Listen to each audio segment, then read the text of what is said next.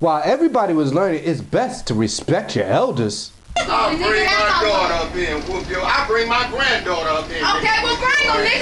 Oh, you going to jail now? Okay, what's You up, going to jail now? Let's go, nigga. You going to jail?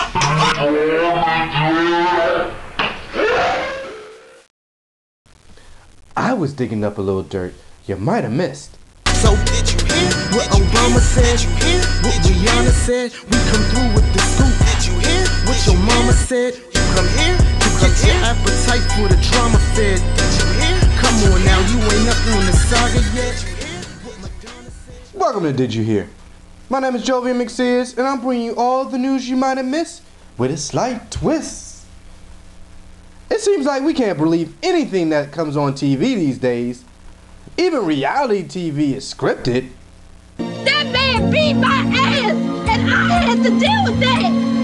So I don't give what nobody think about nothing I got going on.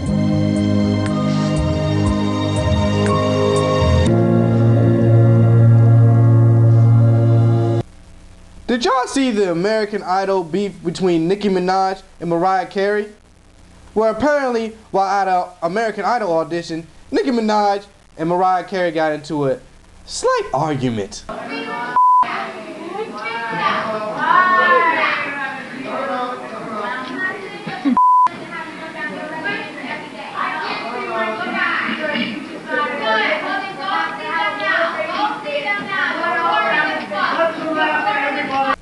Argument does seem a little childish, but why did it escalate from there?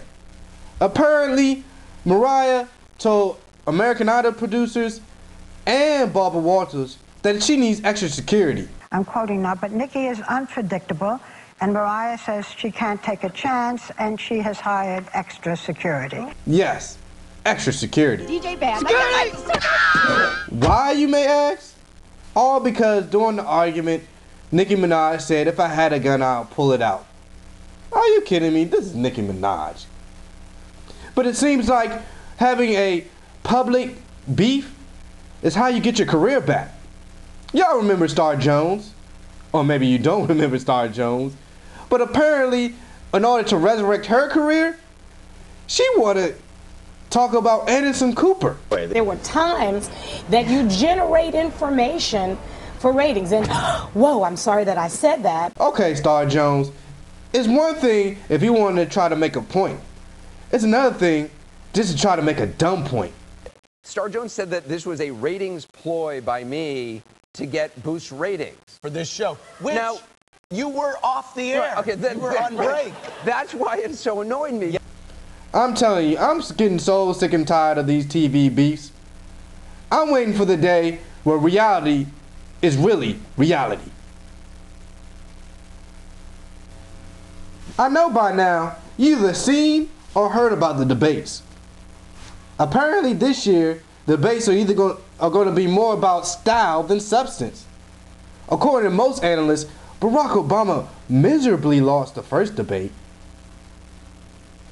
And the toss up between Joe Biden and Paul Ryan who really won that debate. With all due respect, that's a bunch of malarkey. But the story here is not about the debaters. The story here is about the moderators. I'm trying to tell you, they're either coming too soft way over our first 15 minutes. It's fun, isn't it? It's okay. It's great. That's great. okay. No problem. No, you all don't have a- you That's don't have a problem. I don't have a problem. Oh, they're going way too hard. You have refused, and again, to offer specifics on how you pay for that 20% across the board tax cut. Do you actually have the specifics, or are you still working on it, and that's why you won't tell voters? I think they need a more fair and balanced approach. Get somebody like your humble correspondent. Yeah, I I think I'll do a great job. And give it a little twist, if you know what I mean. You know what? That's not a bad idea. I'm about to make my audition tape right, right now. Welcome to the presidential debate at Howard University. Okay, President Obama, what do you hope to achieve that's going to be different for the last four years? Uh, uh, Details, brother, details. um, Romney, we all, we all know you only care about the 53%, but they're struggling too.